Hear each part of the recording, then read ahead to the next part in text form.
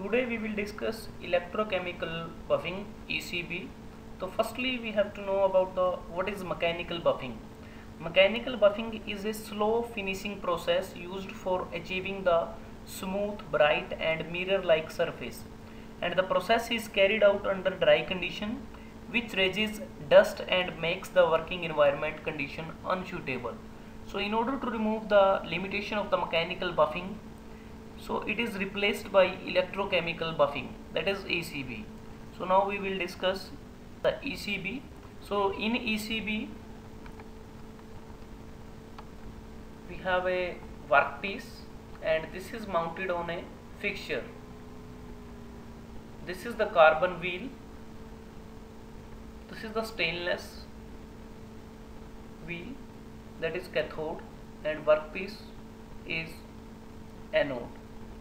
So this is the DC power supply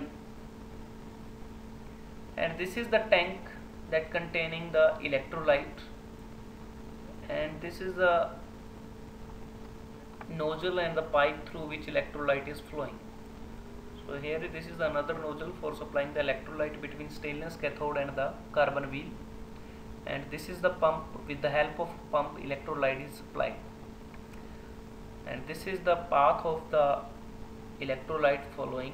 This is the path of the electrolyte flowing. And this is the electrolyte that is coming out from the nozzle. So now we start the working of the electrochemical buffing.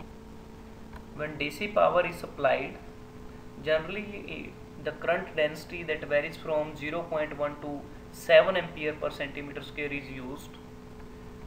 Then carbon wheel it will start uh, it starts to rotate when it starts to rotate then electrolyte is coming out from the nozzle. So electrolyte that is starts to come out the nozzle and after completing its works between the carbon wheel and the workpiece it is discharged to, to the electrolyte tank.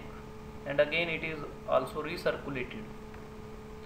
So here we can see the DC power supply that varies from 0.1 to 7 ampere per centimeter square and the speed of the carbon wheel that generally varies from 1 to 6 meter per second and electrolyte that is generally supplied between the workpiece and the carbon wheel that are NaCl and NaNO3 and the electrolyte flow through the nozzle that is varies from 1 to 10 liter per minute. So here ECD electrochemical dissolution of anodic specimen mainly takes place on the surface of the workpiece where it is rubbed by the carbon wheel. And ECB electrochemical buffing it uses the carbon wheel that rubs the anodic specimen against a revolving cathode fiber. So for if we need high speed polishing so in that case electrolyte NaCl is used where high current density is ensured and addition of aluminium oxide to the machining medium that is electrolyte increases the amount of material removal. So during ECB a passive oxide film is normally formed on the surface of the workpiece. So with the help of ECB we get the smooth bright and mirror like surface. So today we discuss about ECB. If you have any query you can ask by commenting. Subscribe to get more updates ANUniverse Double Two. You may like, share and comment. Thank you for watching this video.